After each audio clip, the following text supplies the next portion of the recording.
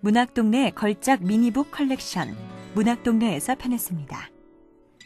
밀리언셀러 연금술사부터 신경숙 첫 산문집 아름다운 그늘까지 황석영, 김훈, 생텍쥐베리 등 꾸준한 사랑을 받고 있는 작가들의 작품을 모았습니다. 이들 작품을 작은 크기로 제작하고 원작의 내용을 그대로 수록하면서 6권의 스테디셀러를 하나의 세트로 구성하고 있습니다.